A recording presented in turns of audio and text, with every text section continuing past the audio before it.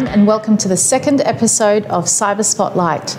Today we have Ty Miller from Threat Intelligence. Hi, Ty. Hey there. Thank you for joining me. Thanks for having me. Ty is the CEO of Threat Intelligence, who are also a Stone and Chalk resident. So tell me more Indeed. about Threat Intelligence, Ty. Yeah, so Threat Intelligence uh, has been around for about 10 years so far. And um, basically, we've got two parts of the business. One is the services, where we do have a A-list team of guys, very experienced, you know, typically 15 to 20 years experience each, and um, cover, you know, things like penetration testing, incident response, managed services, those sort of things. But the other side of our business is uh, that we've developed the world's first security automation cloud um, to be able to deliver automated uh, specialist capabilities to organisations to be able to really uh, augment their team and secure and automate, you know, a lot of their their security basically to try and you know plug a lot of the holes that that they have and um, sort of augment, you know, the minimal security teams that they've got. Yeah, cool. All right, I love automation. Um, a tiny Everyone bit of does. a tiny bit of a nerd, um, but you know uh, the the question I have for you, which I ask um, others, why? Why did threat intelligence come about, and how did Okay. it come about? Yeah, look, I mean, I've been in uh, basically started my whole career in security from, from day one, and uh, very early on got into the uh, penetration testing industry when there was only a, a couple of companies around, and so got very uh, involved with Black Hat. Um, so we've been running training at Black Hat for the last 10 years. So we're the only company in Australia who runs uh, training over at Black Hat for, for that long. Um, been presenting for even longer than that. But um, basically, you know, throughout the 2000s, you know, sort of went through and everything was getting more and more malicious. Um, and really, there wasn't a lot of innovation going on in, in the security space. And I could just see that, you know, it was the threat landscape was getting more malicious, um, even back then, let alone today with uh, COVID sort of amplifying everything.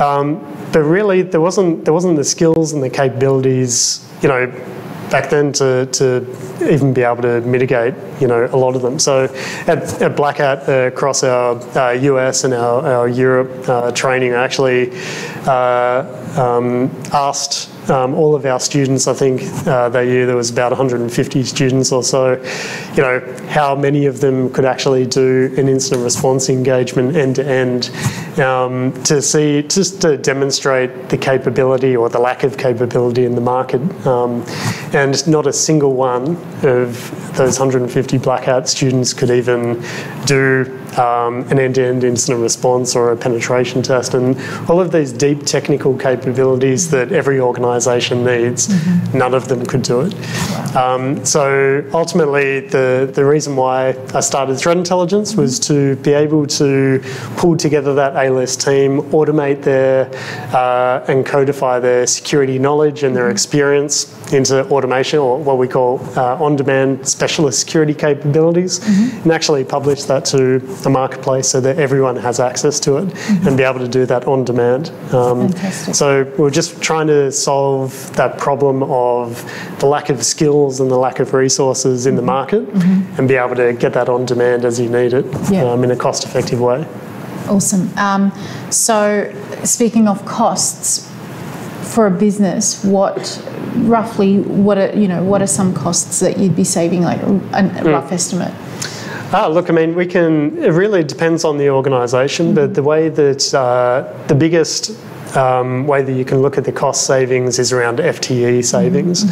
So if you're doing, if you look at it from a team augmentation through security automation capability, because ultimately that's what you're doing. You've got your security team. They may be, you know, you might have a one or two guys or five guys, depending upon the size of the organisation. If you've got five, you're pretty lucky these days. Um, but being able to uh, automate what they're doing so that they're not doing mundane stuff every day. Um, the, that's the other part of the platform. It actually increases job satisfaction by allowing these guys to automate their mundane stuff and actually do cool stuff and, Yeah. and keep building on the business rather than just churning away every day. And that's another challenge that we find our, our uh, clients actually really enjoy the platform is to maintain the interest in their teams. Um, so when you look at it from automating your existing team, but also extending them through both uh, automation as well as um, wrapping services around that to extend the team, you start very quickly, you know, adding up one, two, three, four, five FTEs, and you basically multiply out the savings Yeah. from that to be able to get um, the savings from the organisation. The other part beyond the FTEs is when you look at things like um, uh, traditional services that you would get from a security consultancy like ours that you know is, is obviously multiples of an FTE um, for that period of time. And you know that can be very expensive. So um, when you can start automating those capabilities in-house you actually start saving significant amounts by not having to use third-party providers which sounds like I'm shooting myself in the foot No, on one but- side of the business but you know you you it's really about um, you know solving a key problem for the industry Yeah. um, which is a lack of resources and lack of skills and time to be able to you know really secure your organization Yeah, absolutely. You have really hit the nail on the head because lack of resources. I've said this so many times that cybersecurity does tend to unfortunately fall to the very bottom of that list Yeah. of priorities that any business has. well it's a cost Yep. right so when you look at it from a cost perspective there's always going to have you know uh, tight controls around your security budgets. You know, to be able to get an FTE within your security team, obviously there's cost associated with that, but that's a permanent cost, right? You, unless you're going to start, you know, sacking people, um, which none of us want to happen, but you know that's permanent liability for the business going forwards. Whereas when you have a look at it from a modular uh, security automation capability, you can actually get those uh, capabilities into the team on a subscription base. So that also works both with capex and opex. You can sort of shuffle budgets around, which makes it nice. Um, but you know, if you stop needing a particular capability, you just get rid of it. Right. You know, so it's very flexible and, and allows you to sort of build out that team without getting that same sort of liability uh, built into the business. Awesome. Um, now, Ty, tell me about the Evolve platform. What's that all about? So Evolve, uh, as I mentioned, is the world's first security automation cloud, and uh, it's designed to. So uh, let me wait. Let's give Yeah. that the respect it deserves. yeah. World's first, Yes. right So here from New South Wales. From New South Wales. So. World first. So we actually uh, did a. thank you for. You're welcome. You know, I, I'm used to just throwing that out there these days, but, no, it, it really is it's, a it's big great thing. because so, you know it's very important to recognise the fact that we have Hmm. world-leading capabilities here in New South Wales, and that's something for us all to be very proud of. And for you especially, you need to scream Thank you. those words out because a world first is a world first, Yeah. and, and you need And- to be very proud of that. You know what? Like it's uh, it's really exciting when we present these to um, you know our clients or to um, potential clients, and we go through the capabilities, and they're like. Uh, there's nothing like this on the market, you know, even with the big players. Yeah. And it's like, yeah, I know that. Um, you know, and so it's it's exciting to sort of hear that come back from clients that they think they think the same thing. You know, you can get wrapped up Yeah, in well, your you own can, platform. you can, and, and we've spoken quite a few times, Hmm. and you you know you mentioned the world first thing, Hmm. but you're just kind of like, oh yeah, world first, because for you it's yeah. business as usual. It is. right, Yeah. but a world first is just that, Yeah. and so you really need to shine that light on it, and that's why we're putting a spotlight on threat intelligence because they're doing amazing things. So we, um, yeah, coming back to that, we Yeah. uh, did a global launch of Evolve uh, in 2018 at Black Hat USA. So we were gold sponsors over there and had a nice big booth, the same sizes like Splunk and uh, Kaspersky and uh, Trustwave and all those sort of guys. Yep. Um, so really um, pushing hard from a, um, you know, to, to break out of not just New South Wales, but also Australia and, and into the global market as well. Fantastic. Yeah, so that's actually my next question. Who are some of your, um, well, not who, but what are some global markets that you've um, made grounds in? Yeah. So um, obviously, uh, Australia, we've made significant headway in, in locally. Mm-hmm. Uh, we've, there was always from day one in the business that it was, it was going to be a global platform. So we've got regions for Australia, the US, and, and Europe being a, Mm-hmm. a cloud. Um, and so internationally, uh, we've made some headway into North America. So we've got a, a reseller and a client. Um, so he's, he's two in one. Um, uh, they uh, resell to their clients as well as actually uh, deliver their security services um, in North America, Right. um, utilizing Evolve. And yeah, he recently gave us some feedback saying that, you know, I've, I've been able, the only way I've been able to expand my business and be able to take on the amount of work that we take on is through Evolve. Yeah. Um, to be able, and this is a security company, security managed services company in North America, Wow. um, to be able to automate um, a lot of the capabilities that he would have usually had to go out and hire a whole team to do, which is great. Um, we've had uh, uh, a lot of interest recently uh, in Singapore and uh, Asia, and so we've recently signed up a distributor in um, in Singapore, and they're really uh, running hard into the Singapore market. Uh, and we're also recently just uh, started a program with Austrade, and um, they'll be helping us push into three different regions um, around the world, um, including uh, Europe, North America, and uh, again further into Singapore as an expansion into Asia. Amazing, amazing. Uh, I'm so proud of you guys. That, that's really fantastic.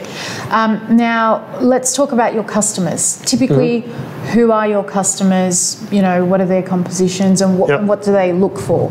Okay, so so we have customers across uh, every segment, um, and they also range from, you know, typically uh, SMBs through to enterprise and government. So, you know, there's some, you know, in pharmaceutical companies who, uh, you know, they're, they're a small team but a big company. Yes. Um, and so they don't have a security um, team at all.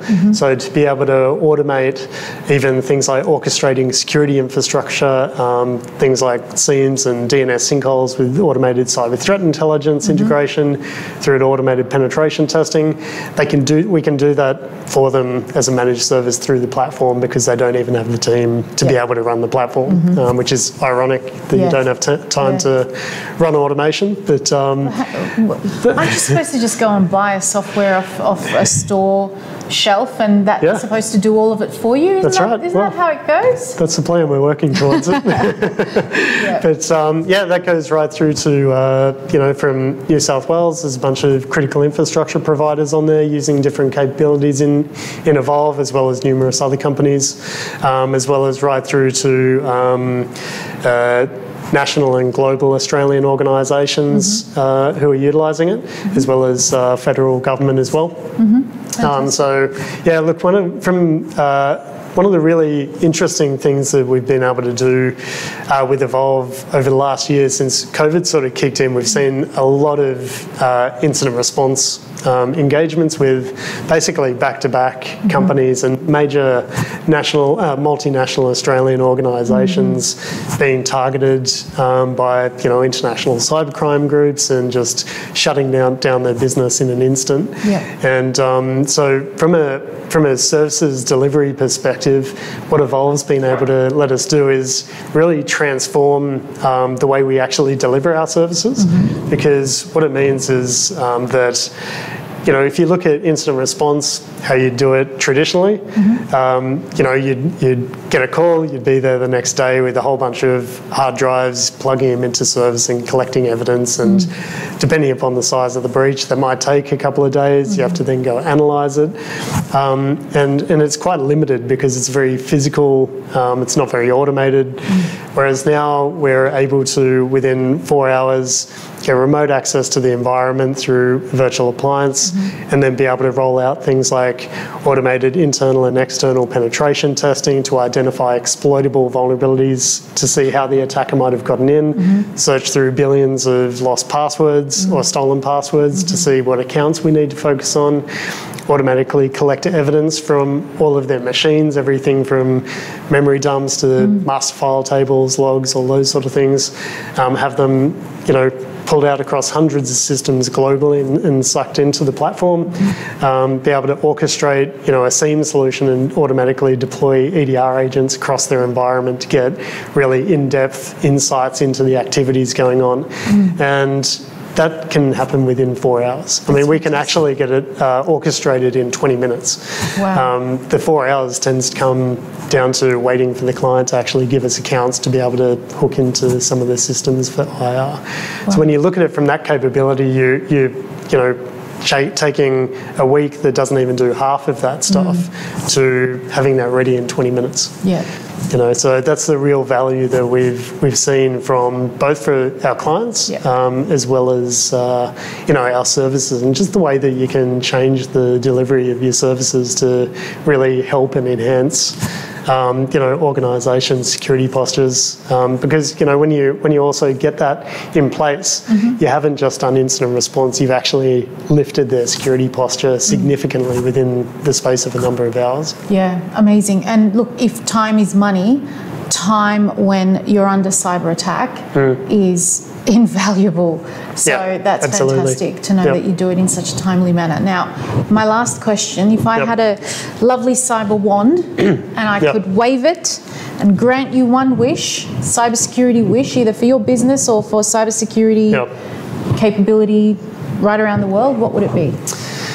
Look, I think um, obviously biased in my, my uh, what I'd wanted out of this, mm-hmm. but um, you know, I've really, and it comes back to why I started the business in the first place, which was to solve the problem of uh, being able to enable organisations to secure themselves mm-hmm. um, and be able to do that in a really effective manner. Mm-hmm. So, you know, I'd love to be able to. Um, you know, get Evolve rolled out uh, globally mm-hmm. um, to, you know, hundreds and hundreds or thousands of organisations just to be able to help them secure themselves. Yeah. You know, like the the threat landscape um, is just going to get worse and worse and worse. Yeah. Um, it hasn't slowed down in the last 20 years. Mm-hmm. Um, you know, like I wanted to start the company, uh, you know, um, towards the end of uh, the 2000s because it was so malicious back then. That was sort of around the whole period of Anonymous and LulzSec and those sort of guys mm-hmm. um, or, or, groups, and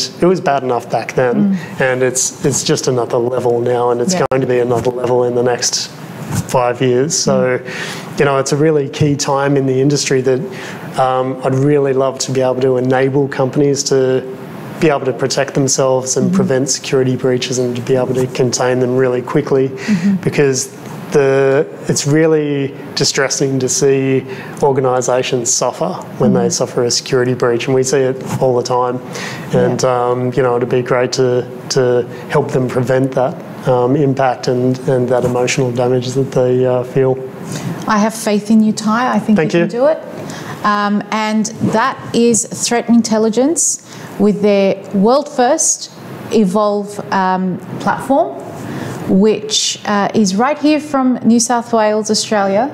Yep. And it's a world first, and it's going to aim to keep the entire world safe Hopefully and cyber secure. Wonderful. Thank you so awesome. much for your time. Thanks for having me.